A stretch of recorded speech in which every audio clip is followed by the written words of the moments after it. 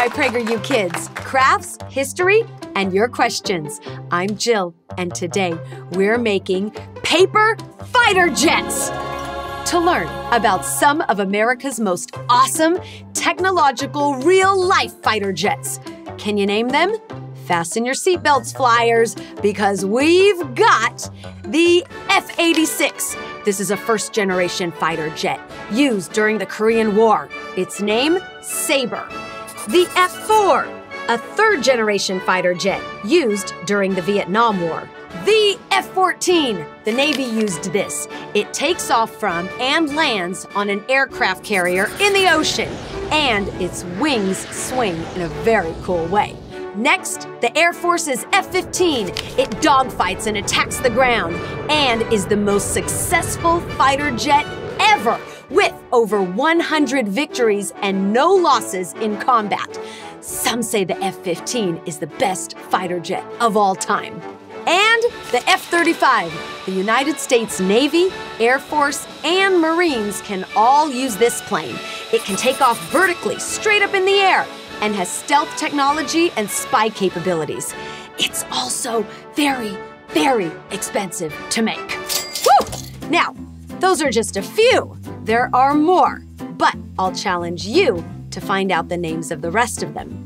Here's what you'll need for our craft today a piece of paper and star stickers, and that's it. Oh, we've got a question. Why does America have so many different kinds of fighter jets? Great question. The United States has different kinds of fighter jets because technology is always changing and getting better. You know how you might get a new computer that works faster and smarter when your old one slows down? Well, that's kind of how it works with fighter jets. And America is a global leader with the best technology. We want to be prepared and ready to protect our freedom, which is why we continue to build the most powerful fighter jets we can.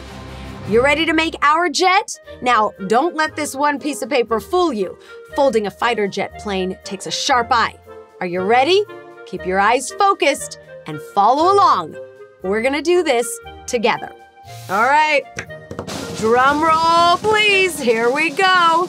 You can do it. You're gonna fold it over in half, make that crease real nice. Unfold it, and then we're going to fold it in half the other way.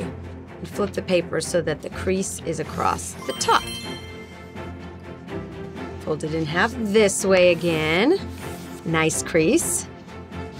Fold it this way, and you're gonna fold this edge so that it comes up to the center crease. See how that's working? Do the same with the other side. To the middle. Nice crease, put some muscle in it. Open it back up, open it back up, and now we want it so it's like this on the bottom. Right here, fold it down into a triangle, and this point is gonna hit this crease right there. Very good. Same to the other side. Fold it, crease goes right there. And we do want to point at the top if we can. Get it as close as you can. Fold it up, see how that works?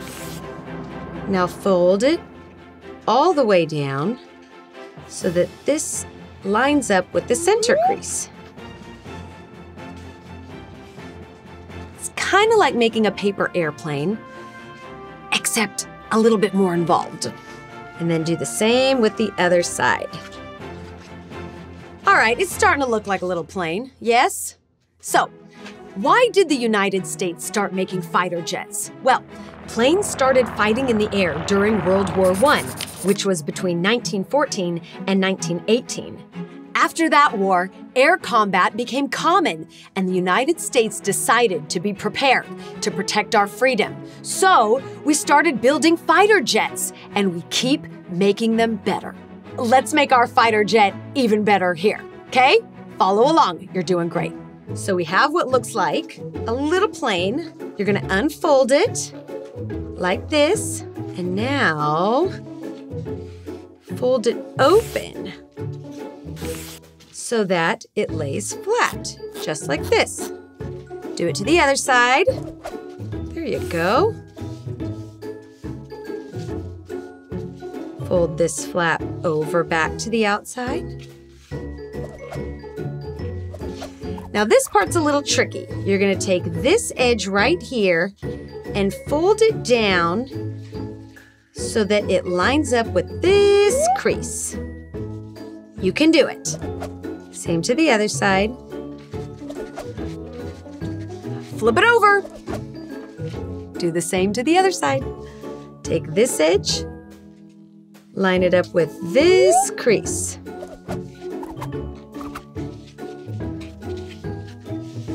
Fold these flaps down.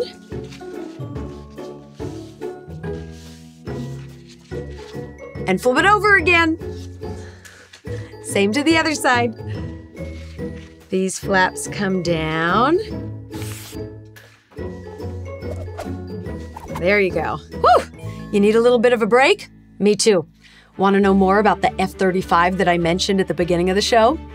It's really cool. Basically, it's a huge computer with wings. It's 14 feet tall, 51 feet long, has a wingspan of 35 feet, and can fly 1,200 miles per hour. There's even a type of F 35 that can fly vertically, straight up and down. The first prototype of the F 35 flew in 2006. Oh, and it also costs between 78 million and 101 million dollars to make. That's a lot of money. But our fighter jet here doesn't cost a lot of money, so let's finish it up. Last part, coming at you. Stay focused. So we have our plane. Fold it in half, just like this. Then you're gonna take this wing and fold it up. Getting tougher and tougher. We gotta make this strong. Do the same to the other side. Take one flap of this part of the wing and fold it up. Do the same to the other side. This flap. Okay. Straighten it out. Almost there. yes! now, if you have star stickers like I do, now's the time to get them on the wings of our jet. Ta-da! We did it! All I need now before trying this out are fighter pilot glasses. Why, thank you. Three, two, one.